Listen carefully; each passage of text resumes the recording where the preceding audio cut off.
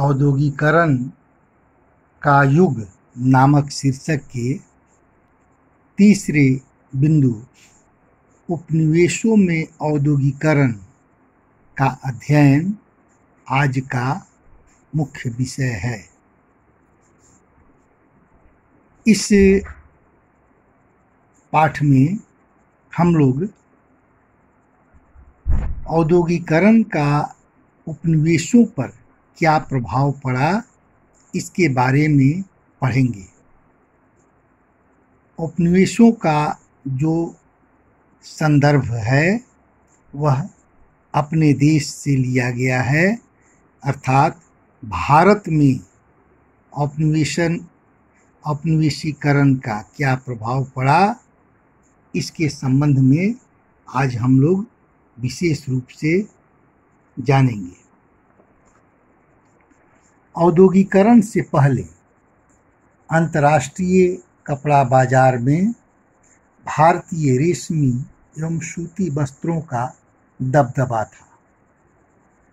भारत में महीन किस्म के रेशों वाले कपास का उत्पादन होता था तथा इससे उच्च कोटि के सूती वस्त्र बनते थे।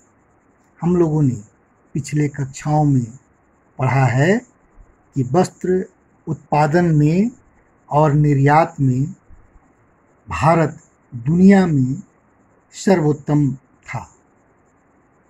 आर्मेनियन और फारसी सौदागर यहाँ के बने महीन कपड़ों को अपने यहाँ ले जाते थे। सूरत बंदरगाह, मछलीपट्टनम, हुगली बंदरगाह के माध्यम से यहाँ से वस्त्र पश्चिमी एशिया तथा दक्षिण पूर्वी एशिया के देशों को निर्यात होते थे।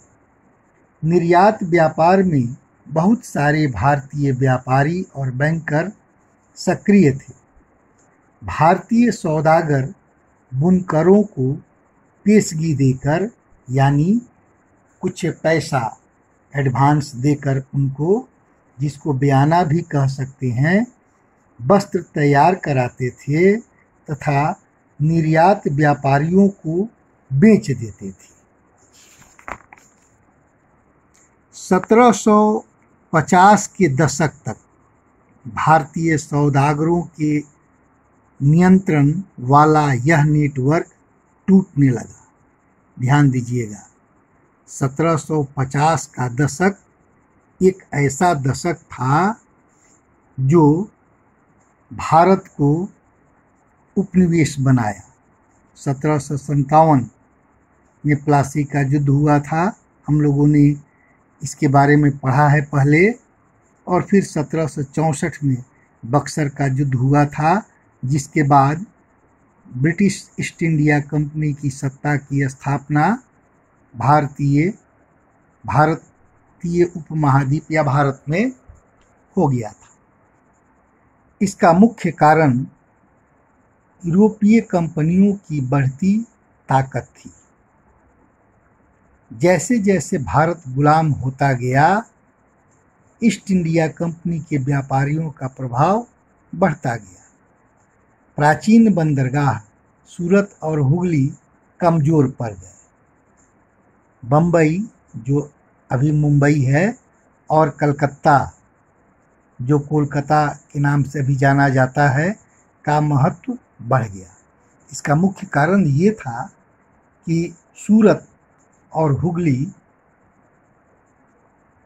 बंदरगाह जो थे, वह प्राचीन बंदरगाह थे और सूरत में पहले जो व्यापार वहाँ से विदेशों के लिए होता था, अब अंग्रेज़ों के द्वारा मुंबई और कोलकाता पर अधिकार करने के बाद अंग्रेज़ों ने निर्यात व्यापार को वहाँ से स्थानांतरित कर दिया। इस प्रकार ईस्ट इंडिया कंपनी की सत्ता की स्थापना होने के बाद भारतीय कपड़े का युग समाप्त होने लगा। बहुत सारे पुराने व्यापारिक घराने ढह चुके थे। जो बचे रहना चाहते थे, उन्हें यूरोपीय व्यापारियों या व्यापारिक कंपनी के साथ काम करने के अलावा और कोई चारा नहीं था। इस प्रकार औपनिवेशीकरण ने भारत में जो प्राचीन उद्योग थे, उसको समाप्त कर दिया। औद्योगिकरण ने औपनिवेशीकरण को जन्म दिया और औपनिवेशीकरण ने भारत के परंपरागत उद्योग को समाप्त कर दिया। तो आज के बिंदु में इतना ही। आप लोगों के लिए गृह कार्य रहेगा।